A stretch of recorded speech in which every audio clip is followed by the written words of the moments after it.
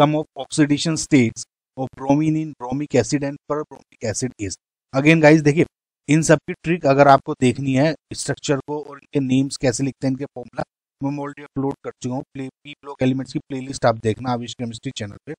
लेकिन इसमें फ़िलहाल मैं आपको दिखाता हूँ। देखिए, जब भी आपके ऑक्सी एसिड होते हैं इट इज़ बेटर कि आप इसको स्ट्रक्चर के थ्रू सोल्व करें। हालाँकि, क्योंकि कभी कभी किसी केस में आपको दिक्कत हो जाएगी।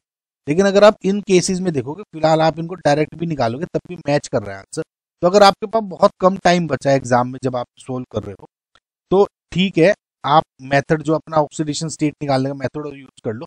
नहीं तो इट इज़ बेटर कि आप स्ट्रक्चर बना के निकालें, उससे आप समझ भी सकें तो ये फ़िलहाल जो एच आपका ब्रोमिक एसिड हो गया, वो H B R O three हो गया, पर ब्रोमिक एसिड आपका हो गया H B R O four ठीक है, इसका जो स्ट्रक्चर होता है वो ये होता है, ओके? और जो H B R O four का स्ट्रक्चर होता है, वो ये हो। ये बी आर बना double bond O double bond O okay double bond O and यहाँ पे ओ है।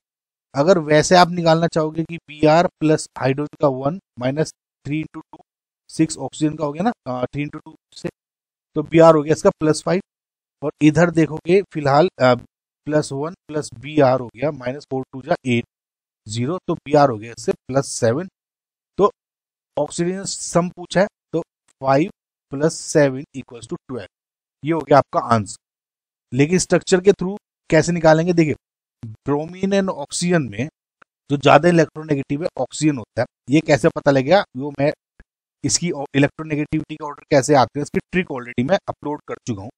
ठीक है, उसको ज़रूर देखना। तो देखिए ऑक्सीजन ज़्यादा इलेक्ट्रोनेगेटिव माइनस वन यहाँ पे हो जाएगा प्लस वन क्योंकि एक सिंगल बॉन्ड है। यहाँ पे डबल बॉन्ड है तो यहाँ पे माइनस टू प्लस टू तो यहाँ minus two similarly plus two तो दो दो, एक, यानी five similarly minus two plus two minus two plus two यहाँ minus one plus one minus two plus two तो कितना हो गया?